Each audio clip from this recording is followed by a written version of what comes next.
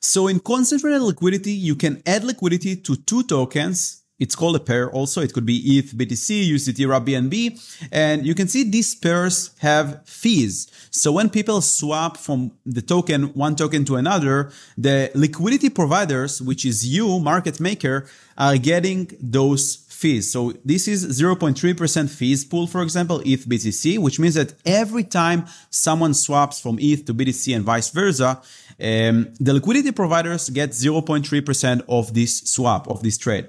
Here, the TVL basically shows you how much money is added to this liquidity pool. This is the volume in the 24 hours. As you can see, it stands on zero because it's not updated, as well as the volume for the last seven days. And this is where the opportunities are because it's pretty new pools that don't have data and the opportunity is there. You will see in a second how. So unlike version 2 in Uniswap version 2, in version 3 we have something called concentrated liquidity, which means that you set a price range.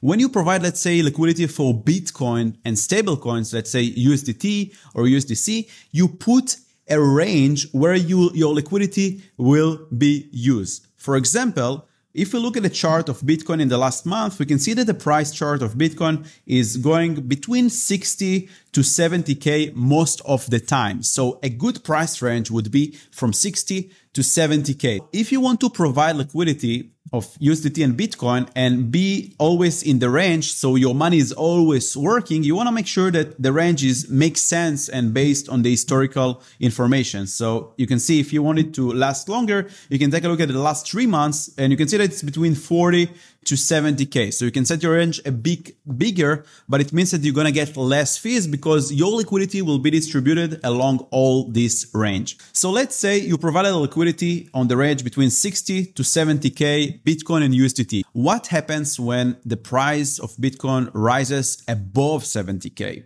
it means that you're going to get out of range. So your liquidity is not working anymore and all your assets will be converted to the less performing asset.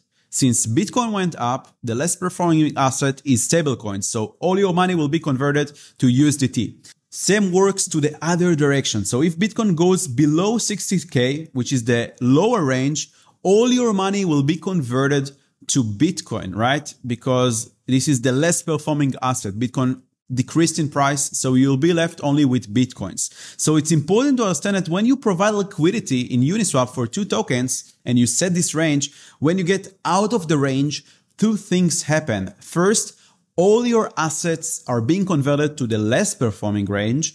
And second, your assets are not generating fees anymore because your liquidity is out of range.